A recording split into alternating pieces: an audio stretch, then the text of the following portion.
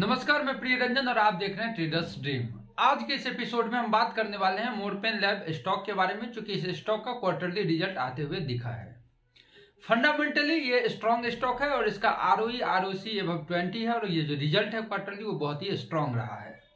जिसमें हमने net profit में 40 परसेंट का और 20 परसेंट का उछाल इसके रेवेन्यू में दिखा है, साथ में इविटा और इविटा मार्जिन भी बढ़ते हुए दिखा है। अगर आपने इस स्टॉक को होल्ड कर रखा है तो पर्सनली मेरा ओपिनियन रहेगा कि इस स्टॉक को होल्ड बनाए रखे। जहाँ ये स्टॉक पिछले तीन महीने से कॉन्सोलिडेट होते हुए दिख रहा है, वहीं इस स्टॉक के अंदर आपको शानदार तेज़ी दिख सकता है। टेक्निकली इस स्टॉक को देखेंगे तो इस स्टॉक का जो 200 डे मूविंग एवरेज है, पचास रुपए का, उसका सपोर्ट स्ट्रांगली दिख रहा है।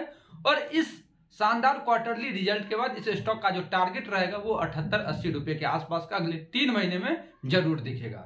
टेक्निकली स्ट्रॉन्ग स्टॉक दिख रहा है। जहाँ इसका आर एस आई अब फिफ्टी है और साथ में इस स्टॉक के अंदर हमने देखा कि 50 परसेंट से ज़्यादा की क्वांटिटी डिलीवरी के रूप में बाइंग होते दिख रही है।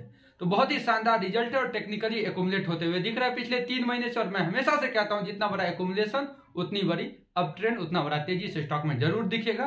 तो इस स्टॉक में छियालीस रुपए के स्टॉप लॉस के साथ अस्सी रुपए के टारगेट के लिए आप ज़रूर बाइंग कर सकते हैं, जहाँ रिस्क बहुत कम और रिवार्ड बहुत बड़ा ज़रूर देखने